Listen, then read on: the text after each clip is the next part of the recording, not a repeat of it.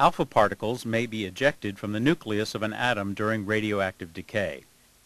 They are relatively heavy and only travel about an inch in air. Alpha particles can easily be shielded by a single sheet of paper and cannot penetrate the outer dead layer of skin. So they pose no danger when their source is outside the human body. Beta particles are essentially electrons emitted from the nucleus of a radioactive atom. They are lighter than alpha particles and can travel farther in air up to several yards. Very energetic beta particles can penetrate up to one half an inch through skin and into the body. They can be shielded with less than an inch of material, such as plastic. In the case of lower energy beta particles, the outer layer of clothing can act as an effective shield. Gamma rays can be emitted from the nucleus of an atom during radioactive decay.